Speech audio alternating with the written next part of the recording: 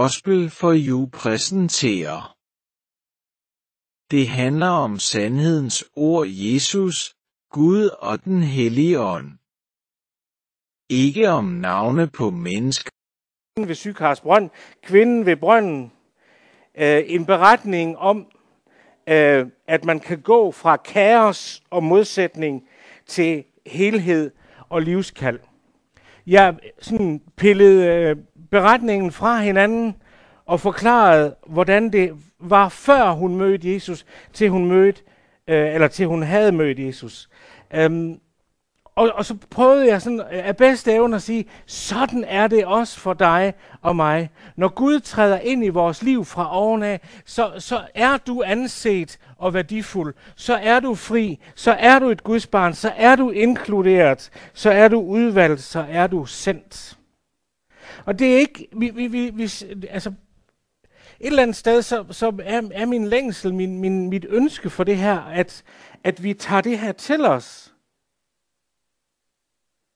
Det er helt fundamentalt, det her. Det er simpelthen, øhm, hvis, vi, hvis vi taler om, at Jesus er klippen, vi bygger vores liv på, så er det det der. Så er det det der. Det, det er sådan, vi, altså jeg har det sådan, øh, jeg har jo hørt utallige prædikner. Og så endnu flere end det.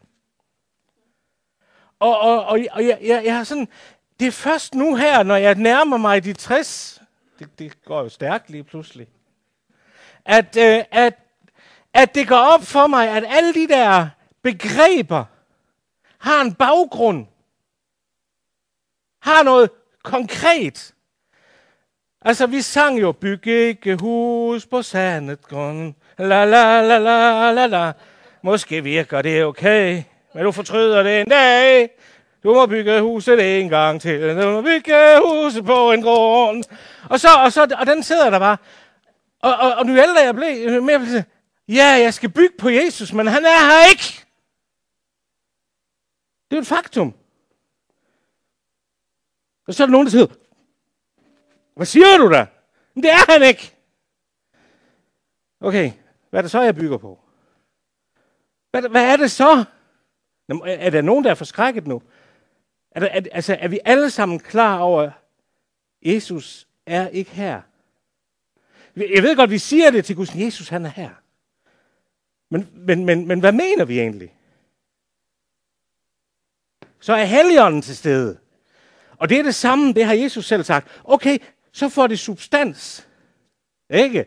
Det er noget helt andet. Men når vi nu skal bygge, skal vi så bygge på Helligånden. Er det det, det betyder? Så kan vi blive forvirret. Nej, det, det må være noget andet i det. Det er det her. Når vi skal bygge på Jesus, så er det fordi, vi må finde ud af, hvem er vi i ham? Hvad er det, der gør, at jeg kan stå oprejst? Selvom jeg dybest set er dum, grim og doven. Selvom jeg dybest set er syndig og stadigvæk synder. Hvad er det, jeg kan stå på og ikke falde sammen under? det er, at jeg ved, at når Jesus er i mit liv, så går jeg fra en tilstand til en anden. Og helt grundlæggende, så er det, at jeg er anset og værdifuld. Kan I ikke allerede, kan I, kan, altså, kan, kan, kan, vi, kan vi ikke sådan blive enige om, wow, hvis jeg kan få det ind i mit liv, så begynder det lige pludselig at, at, at være solidt så behøver jeg ikke at dingle frem og tilbage i min egen lille boble. Jeg er fri.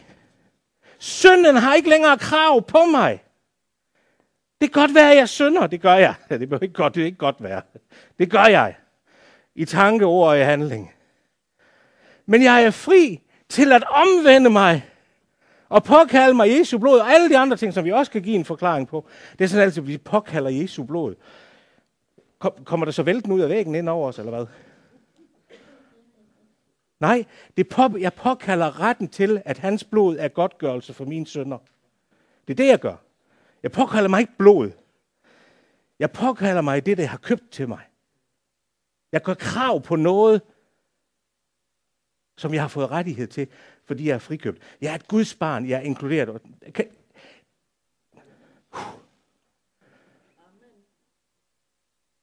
Det er, det, det er derfor, den der beretning er så speciel. Hun er totalt uden for nummer. Der er ikke noget godt at sige om hende. Det er det ikke. Men hun møder Jesus. Hun var på det rette sted på det rette tidspunkt og mødte Jesus der fuldt ud og blev forvandlet. Og vi kan jo se det, hvordan hun render tilbage og begynder at råbe og skrige ind i byen, og folk de kommer ud af huset og tænker, hvad er der gået galt for hende i dag? Og så render de ud for at se det, og så bliver hele landsbyen, de bliver, wow, nu tror vi ikke længere på grund af dig. Hun er den første missionær. Det er, hun fik noget at stå på. Okay, det var slet ikke meningen, at det skulle fylde så meget, det her. Det var bare sådan... Det var, det var, det var, det var hvad kvinden i brønden går ud på. Og så kan man jo selvfølgelig tænke lidt over det.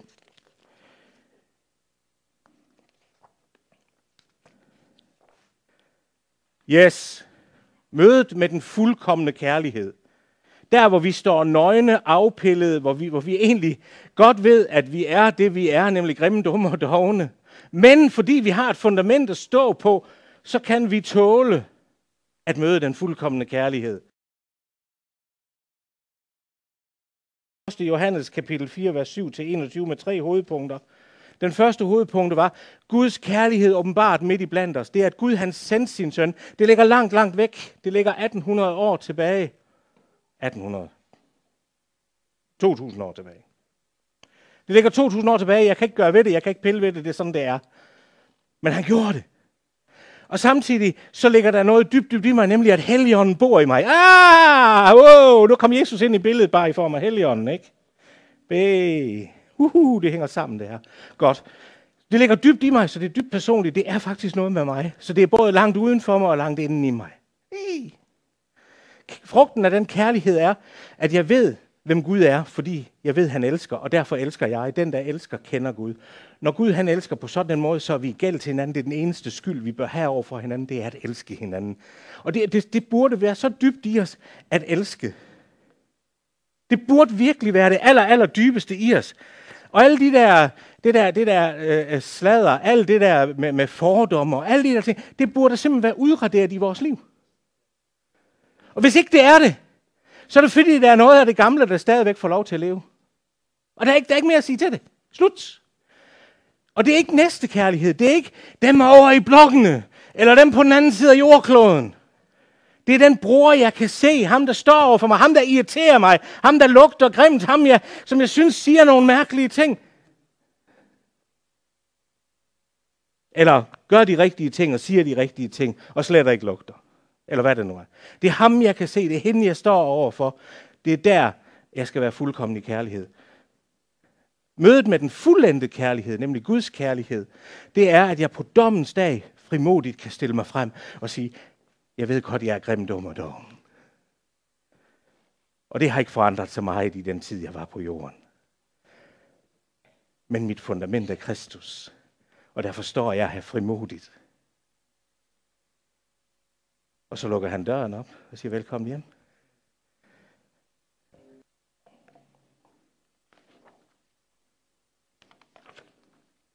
De her to ting, det er helt grundlæggende. Det er helt, helt grundlæggende. Det er det fundament, vi står på. Det er, når vi siger, at vi bygger på Jesus. Så er, er, er det mestendels det der med alle dets afskygninger og uddybninger og fremhævelser og alt det der. Når vi har det der, så er vi godt undervejs. Der, hvor jeg er vokset op i den ungdom, jeg havde, der ville man have sagt, det er helliggørelsen. Det, jeg lige har gennemgået her, det har det teologiske begreb retfærdiggørelse over sig. Det, jeg vil pege på nu, det er helliggørelse. Det er kristenlivet fremadrettet. Lær at gå på vandet. For det er dybest set det, vi skal. Det er det, Jesus kalder os til. Han kalder os til, at der kommer ro og balance ind i det trosliv, jeg lige har beskrevet i de to andre gudstjenester. At, at, at, at der er så meget ro på, at jeg kan leve også uden at have en boble omkring mig.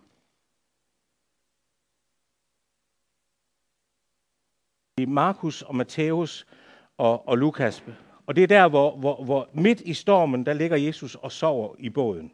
Altså midt i kaos, der hviler Jesus.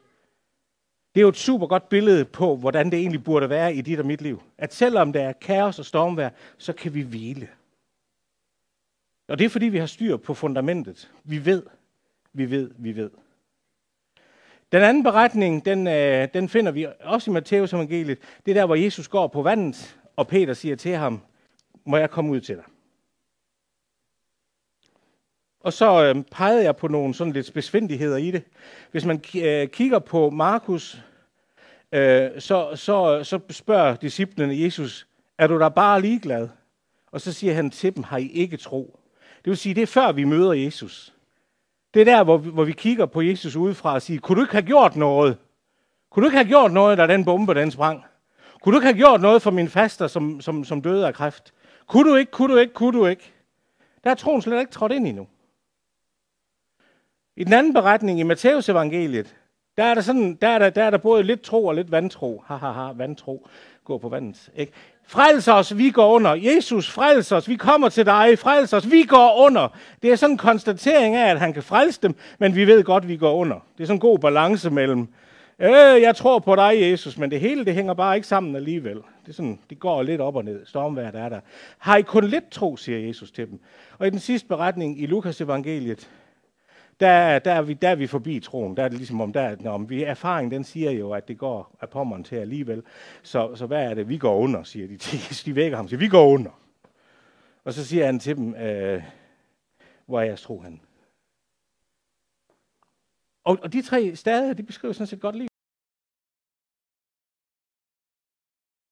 Midt i kaos, der hviler Jesus. Han er vores forbillede, han er vores fundament. Han har fat i et eller andet, i den anden beretning, der er det lige Peter, vi fokuserer. Der siger han til Jesus, Jesus, sig til mig, hvad jeg skal gøre. Jeg vil gerne, kom, sig, til mig, sig til mig, at jeg skal komme ud til dig. Sig til Jesus, at jeg skal gøre noget stort for dig. Du skal bare sige til Jesus, at jeg vil gøre alt for dig. Ikke? Vi, vi synger den ene lovsang efter, dem, hvor vi overgiver os. Og så går der en uge, og så kommer vi hen, og så overgiver vi os en gang til. Og så går der tre uger, og så kommer vi hen, og så overgiver vi os til Jesus. Og indimellem, der, ja, okay, I ved, hvad, der er nogen, der ved, hvad jeg snakker om. Det er godt. Jesus han siger bare, så kom der. Gør det dog. Kom. Hvis det ligger i dig, så kom. Bare kom. Og så træder Peter ud mod alle odds. Og så så han kaos og mistede fokus og sank. Hvad er forskellen på Peter og Jesus? Det er fokus. Hvor har du din fokus hen? For før de her to beretninger, der har Jesus været alene for at bede. Han har været sammen med sin himmelske far. Han har fordybet sig i relationen med Gud, fader.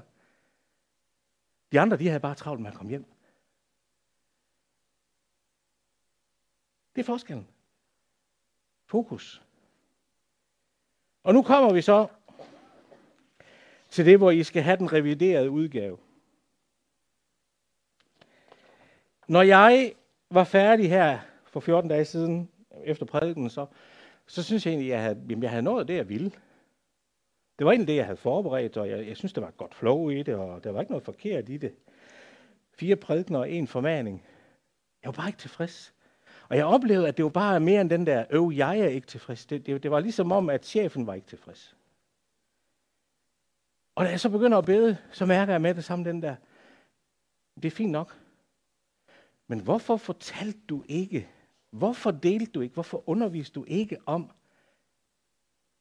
hvordan man gør det her?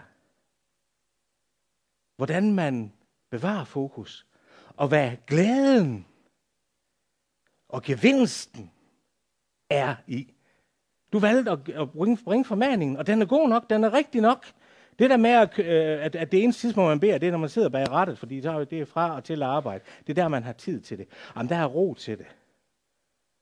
Og så formanede jeg, at det, det nytter jo ikke noget. Sådan kan du ikke køre en relation. Det er fint nok. Men hvis det er det eneste, så kan du ikke bygge relationen. Den bliver i hvert fald ufokuseret. Og det er rigtigt. Men jeg oplevede simpelthen, at Helligånden tog fat i mig og sagde, jamen, det er fint nok. Men hvorfor delte du ikke glæden, gevinsten, fornøjelsen, styrken? Så derfor har jeg lavet en revideret udgave. Det er derfor, I, I der har været, har blivet udsat for det igen. Og jeg der ikke har hørt det, glem hvad jeg lige har sagt. Jeg har forsøgt at provokere lidt med den her, at alle og enhver ved jo, at hvis man skal i, komme i god form, så skal man hvile sig. Alle og enhver ved, at man kan komme sovende til viden. Og jeg kan huske reaktionen sidste gang. Jeg gjorde rigtig meget ud af det. Folk de sagde, nej, nej, nej, nej, det passer ikke. Men, men, men, men det sjove er jo, det sjove er jo, at det, det er sådan, vi opfører os. Og det er jo der, min formaning den lå. Vi tror, vi kan komme sovende til det. Vi tror, vi kan slippe af, slippe igennem med, at vores bønneliv det foregår bag rettet i bilen, eller, eller hvor det nu er lige, jeg kan få det passet ind hen. Det har ingen prioritet. Og det var min formaning. Så nu har jeg gentaget den. Nu kommer den nye reviderede udgave. Jeg tog egentlig mit udgangspunkt i at sige, at der er nogle absolutter, der er nogle fundamentale ting, der er nogle ting, vi skal holde fast i. Lad os prøve at lytte til Apostlenes Gerning kapitel 2, hvor Peter han stiller sig op og prædiker efter pinseunderet, efter at helligånden er faldet. Da de hørte det, stak det dem i hjertet, og de spurgte Peter og de andre apostle, hvad skal vi gøre, brødre? Peter svarede, omvend jer og lad jer døbe i Jesu Kristi navn til jeres sønders forladelse. Så skal I få Helligånden som gave. For løftet gælder jer og jeres børn og alle dem i det fjerne, som Herren vor Gud vil kalde på. Og med mange andre ord vidnede Peter og formanede dem og sagde, lad jer frelse fra denne forkvaklede slægt. De, som tog imod hans ord, blev døbt, og den dag blev der for et næsten 3.000 mennesker til. De holdt fast ved apostlenes lære og fællesskabet, ved brødets brydelse og ved bønderne. Hver en blev grebet af frygt, og der skete mange under og tegn ved apostlene. Men alle de troende var sammen, og de var fælles om alt. De solgte deres ejendom og ejendele og delte det ud til alle efter enhvers behov. De kom i enighed i templet hver dag. Hjemme brød de brødet og spiste sammen, og jublende og oprigtigt af hjertet priste de Gud og havde hele folkets yndest. Og Herren føjede hver dag nogle til, som blev frelst. I, i Apostlenes Gerninger, kapitel 2, 42, hvor, hvor, hvor, hvor, hvor Lukas han beskriver den første menighed, hvor han fortæller, at der er fire karakteristika, der er fire søjler, som holder menigheden sammen, og som holder det kristne liv sammen. Der står, de holdt fast ved apostlenes lære, Bibelen for vores vedkommende, apostlenes lære, de undervist ud fra Gamle Testamente med den nye teologi om Kristus. Det er det, vi kalder Bibelen. De holdt fast ved fællesskabet. Bibel, brødre, det er fællesskab, brødets brydelse, og bønderne. De fire B'er. Og det er simpelthen der, vi lærer at fokusere. Så det her, det er simpelthen, undskyld udtrykket, det er helt, helt grundlæggende begynderundervisning.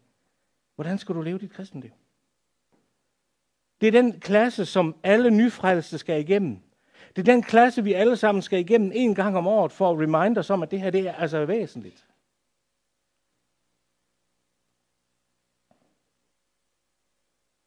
Det første, det er Bibel. Og jeg, jeg vil gerne brede det ud. Det allervigtigste, det er den Bibel, du forhåbentlig har derhjemme. Enten i bogform eller elektronisk. Den autoriserede oversættelse, eller en anden oversættelse, som tager fra grundteksten og er oversat af folk, der ved, hvad de har forstand, eller har forstand på det, de gør, ved, hvad de gør. Men dernæst vil jeg gerne trække forkyndelse ind også. Forkyndelse, der er baseret på Bibelen. Bøger, der er skrevet på Bibelen. Og det vi skal se i det, det er, at den her bog, Bibelen, nu burde jeg selvfølgelig have taget den ud af tasken og taget med ind, er en beskrivelse af, hvem Gud er. En beskrivelse af, hvordan han er. Og, og ved du hvad? jeg er fuldstændig enig med dig, når hvis du læser Bibelen fra ende til anden, så er der ting i den, som du tænker, det kan simpelthen ikke passe. Kan Gud bare sådan åbne jorden, og så sluger han 20.000 mennesker, bare fordi han bliver sur? Ja. Ja. Han har temperament. Kan Gud, kan Gud virkelig sige, at det her det er sandheden, hold dig til den? Det her det er det forkerte, hold dig fra det. Ja. Kan han også sige, at det ene det er liv, det andet det er Ja. Og det er sådan nogle ting, som, som støder ind i os i den kultur, vi lever i i dag. Men det giver dig et billede af, hvem Gud er. Det giver dig, for mig i hvert fald, så giver det mig et billede af, at jeg kan regne med ham. Fordi når han siger et, så mener han det også. Det er ikke sådan, at han siger et, og så lige, lige så mener han jo noget andet. Der er nogen, der sådan tænker, sådan tænker at Åh, jamen, Nye Testamentet, det er noget helt anderledes. Det opløser alt det gamle og sådan noget. Nej, det opfylder alt det gamle testamente. Det gør, at nu kan du sætte flueben ved det hele. Det bekræfter bare det gamle testamente. Og hvis du læser Gamle Testamente med messianske briller eller kristne, kristne briller, så er der faktisk rigtig meget Kristus i Gamle Testamente. Og det, at Jesus han lige pludselig laver sig en, en, en, en pisk eller en hamp af reb og, og renser templet, det er fuldstændig i overensstemmelse med, hvad man har gjort i Gamle Testamente. Så der er ingen forskel. Det er bare udvidet, at nu er Kristus åbenbart. Nu er Guds kærlighed åbenbart i blandt os. Så det er en beskrivelse af, hvem Gud er. Så hvis du vil vide, hvem Gud er, så skal, så skal du ikke sådan sætte dig ned og så begynde at meditere. Så skal du begynde at læse din Bibel. Det er Guds kærlighedsbrev til dig og mig. Han fortæller på godt og ondt om sig selv, om det folk, han udvalgte sig jøderne. Han fortæller om ting, som er helt horrible, som tænker, kunne de virkelig opføre sig på den måde? Og så kan vi sige, de er da ikke rigtig kloge, de israeler. Vi har bare ikke forstået, at de er et billede på dig og mig. At de afspejler dit og mit liv på godt og ondt. At vi er grimme, dumme og doven, men Gud han elsker stadigvæk. Og når vi omvender os, så knus elsker han os og viser sin kærlighed igen. Og når han bliver vred på os, så er det fordi, han vil have os på plads. Det er Guds kærlighedsbrev til dig og mig. Og den største kærlighedserklæring, som er beskrevet i korset, den kan du læse om i detaljer i Nye Testamente. Derudover så er det retningslinjer og vejledning for dit liv. Hvad bør du gøre i den situation? Hvordan bør du tænke, når det er sådan? Hvad bør du sige, når det er sådan? Men det kommer jo ikke af sig selv. Tag og læs det. Det er Guds konkrete tale ind i dit liv. Hvis du siger, Jesus, tal til mig, Gud, tal til mig, jeg vil gerne høre dig, så begynd med at læse din Bibel.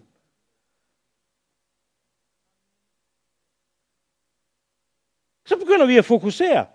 Okay. Det næste, det er bøn. Og der vil jeg gerne starte helt ind i det, vi kalder lønkammeret. Altså der, hvor jeg trækker mig ind for mig selv og lukker døren. Og det er derfor, det der med bilen er blevet populært, fordi så lukker vi døren. Færdselsloven siger, at det er ulovligt at koncentrere sig om to ting på én gang. Du må ikke tale i telefon, mens du kører bil. Det er fordi, du kan ikke koncentrere dig om to ting. Og så tænker jeg, hvordan har han det med, at mit fokus skal være både på det, der kører lidt i radioen, Hillsong selvfølgelig, eller et eller andet andet lovsang, vejen forude, og den cyklist, der kører derhen, og den der ubetinget vigepligt, det der skilt, som betyder, at de ikke overholder den altid. Og så skal jeg bede til ham og have et intimt forhold til ham. Det, jeg er virkelig ude efter den, den der Lønkammeret er der, hvor du siger, nu sætter jeg tid af til ham. Nu sætter jeg tid af til at holde min mund, og lade ham tale ind i mit liv. Nu tager jeg tid til, at det ord, som jeg lige har læst, at det også virker i mig. Men det går videre ind over menighedsbøn. Det at være fælles om det, det kommer jeg tilbage til. Lovsang. Gå en tur i naturen og, og bare blive overvældet. Og sige, wow, det har far skabt. Det er kommunikation. Det vil sige, det er dialog mellem Gud og dig. Hvad vil du gøre, hvis Gud lige pludselig taler til dig, mens du kører bil? Hvad hvis Helligånden virkelig faldt på dig? Jamen, så overtager han styringen. Okay. Det er dialog. Det er fællesskab. Det er intimitet. Et hvert forhold bygger på kommunikation. Et hvert ægteskab, et hvert venskab, en hver relation mellem mennesker bygger på, at vi taler sammen.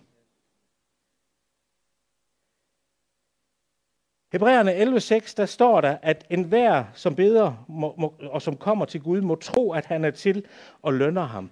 Det vil sige, at vi har en forståelse af, at han er til, men han kan og vil også reagere på det, jeg beder om. Der er andre, der har sagt, at, at bøn, det er de kristnes åndedræt. Og jeg har, altid, jeg har også altid sagt, det er de kristnes åndedræt, og vi kan ikke leve uden at trække vejret. Ikke? Og så er jeg bare gået videre. Men hvad er det konkrete? Det konkrete er, at hvis jeg vil bygge en relation, er jeg nødt til at tale med ham. Det vil sige, at hvis jeg ikke taler med ham, hvis jeg ikke lytter og taler med ham, så er det som at blive kvalt. Så dør relationen. Det er derfor, at det er åndedrættet. Det er ikke sådan, at, at, at, at det er sådan en automatik i det. Men relationen bygger på, at jeg taler til ham, og han taler til mig. Og så synes jeg, i øvrigt, det er sådan bare en NB ved, ved det her med bøn. Vi kunne sige meget mere om det, men det tillader tiden ikke. Tænk sig. Forestil dig at være i dialog med Gud, den almægtige, himlens og jordens skaber og opretholder. Universets herre. Han, som er den ultimative, den almægtige, den alvidende, den allestedsnærværende. Tænk sig at være i dialog med ham. Det alene. Altså, hvor mange her vil sige nej til en audiens ved Margrethe? Altså, dronning Margrethe. Hvem vil sige nej tak til, hvis Joe Biden ringede og sagde, må jeg komme forbi?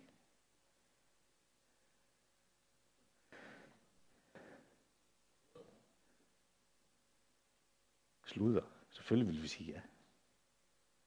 Vil være uforskammet andet? Men det ville det da. Nu taler vi om at have dialog med Gud. Hallo? Brødsbrydelsen eller nadver. Brødet, det brydes for mig. Kristus knuses for mig. I Romerne 3:23, der står der, syndens løn er død. Begår jeg synd? Ja. Hvad er lønnen? Hvad er prisen for det? Det er død. Det er adskillelse fra Gud. Det er total udslettelse. Når Kristus han brydes, så fuldbyrdes straffen. Når han råber, det er fuldbragt, og dør, så er det fordi, nu er prisen betalt. Blodet, det er paksblodet. Det er det blod, som fortæller, at vi hører sammen. Jeg er jo vokset op øh, øh, øh med, med cowboyder og indianer, som de siger over i København. Det hedder bare cowboy og indianer også. Ikke? Og så skulle man blande blod. Ah! Ikke? Er der andre end mig, der har prøvet det? Okay. Vi er virkelig den generation, Lars. Det, er sådan, det, det, det, det, det var sådan, det var. Og så betød det, at man havde en pagt. Vi hører sammen, vi binder os sammen, vi er et. Det her, det kan ikke brydes. Det er mere end en kontrakt. Det er mere end en aftale. Det er noget, som er ubrydeligt. Det gørs til et. Blodet. Og nu er det ikke længere et fint blad, der skjuler os som i Edens have. Nu er det ikke længere blodet på overlæggeren, der Israel skulle ud af Ægypten. Nu er det Kristi blod, der dækker os fuldstændig. Der er den fuldkommende renselse. Og i Hebræerbrevet, der bliver det igen og igen sagt, en gang for alle. Det er ikke, det er ikke noget, det er ikke sådan, at jeg skal, skal, skal sige, uh, nu har jeg syndet, nu skal jeg skynde mig op til korset, og, og så kan, hu, jeg nåede det. Sådan er der nogen, der lever. Der står i, øh, i, i 1. Johannes kapitel 1.9, der står der, hvis vi bekender vores synder, er han trofast og rettig, retfærdig, så han tilgiver os vores synder og renser os for ul, al uretfærdighed. Det er derfor, jeg gør det. Det er derfor, jeg går til korset. Det er for at minde mig om, hvad jeg har i korset hele tiden. Men Paulus han taler i Romerbrevet om, at hans blod renser os. Og han bruger en anden form for ordet renser.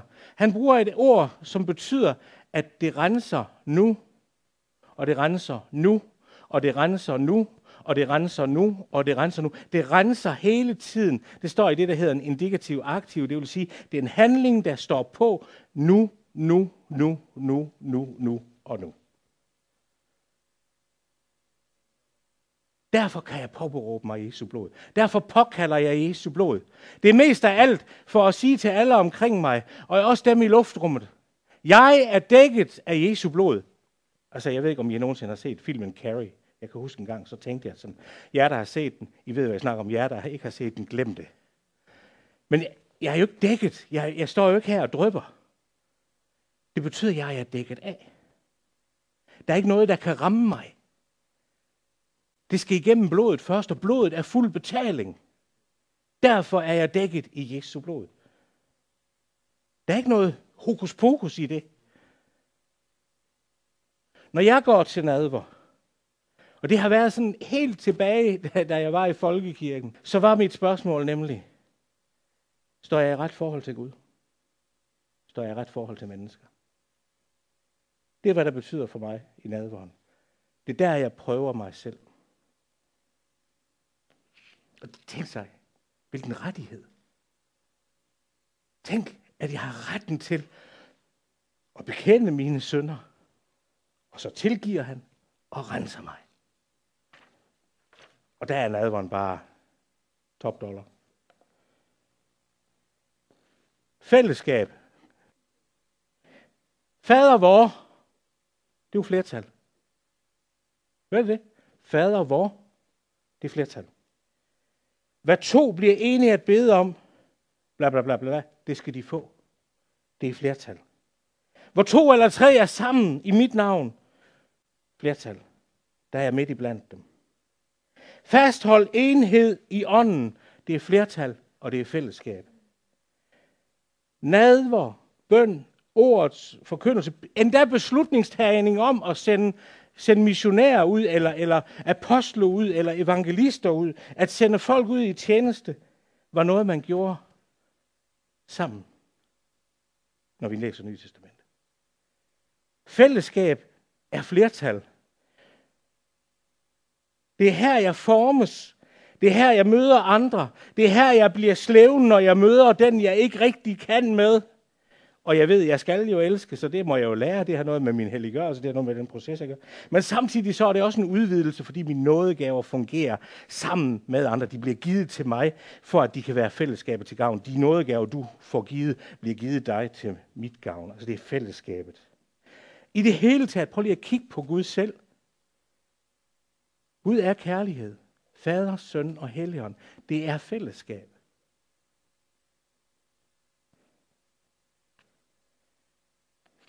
Når Jesus han siger, når I faster. Ikke? Faste. Du kan ikke vride armen rundt på Gud ved at faste. Det er simpelthen en, en, en fejltagelse. Vinder jeg noget ved faste? Belønner Gud mig, når jeg faster? Nej.